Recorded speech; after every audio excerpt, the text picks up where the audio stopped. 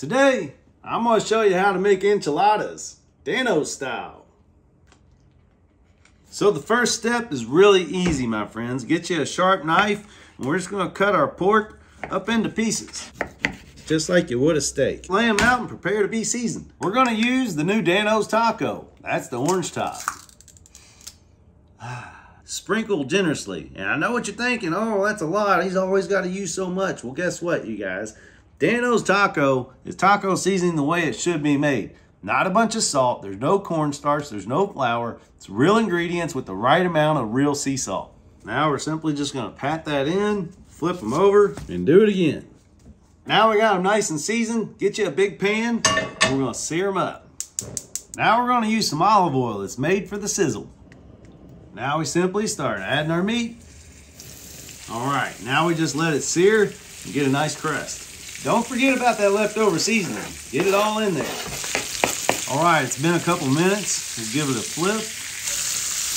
While that continues to sear, let's get our Instapot ready. Check it out. We got it nice and seared on both sides. Now just take that meat and drop it in. We're gonna deglaze this with a little bit of beef stock, just so we can get all that flavor in there gonna be good. Now you need one medium-sized can of red enchilada sauce. Add that in. And one small can of diced jalapenos. Add those in. Juice and all. All right, now we're gonna add a little bit more taco seasoning. Remember, that's over three pounds of pork butt. This bottle is 3.5 ounces. Think about taco seasonings that you buy in the little packets. They're one ounce for one pound of meat. So we're gonna use a little bit more. We didn't use the whole bottle. We probably used about three ounces for about three pounds of meat though. Last thing to add is a yellow onion. Cut up, we're gonna toss that in. Now I'm just gonna take my hands real quick, get everything folded in just like this. So now just fasten your seatbelt and we'll see you in about two hours. All right, it's been two hours, now we vent. Let's get a look. Mm, smells amazing. Get all our meat pulled out of here.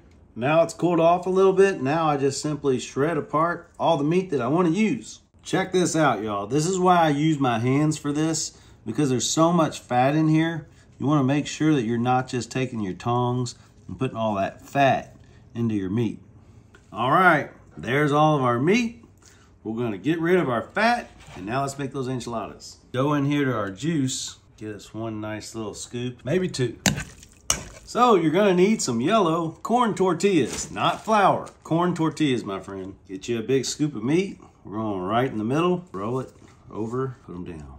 Just like that. Now a fresh can of red enchilada. Pour right over the top. Save this and this for your next batch. Now I know what you're thinking. My tortillas might have been a little old. Yeah, maybe they were. Now we go in right on top with our Mexican style cheese. Don't be stingy. This part's totally optional. Fresh jalapeno. Go right on top. Now into our 400 degree oven we go.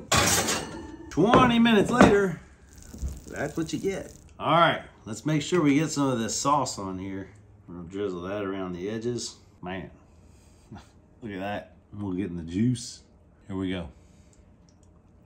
I know my tortillas may have been a little old, you can tell by looking at them. But right now, you can't tell.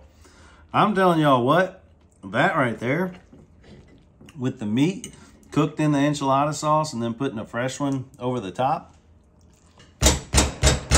Wow, that is amazing. Super easy, simple ingredients. Yum Yum, get you some. Remember, we put the O in taco because we live the taco life. We'll see you next time. Keep sprinkling, my friends. So good. Mm. Mm, mm.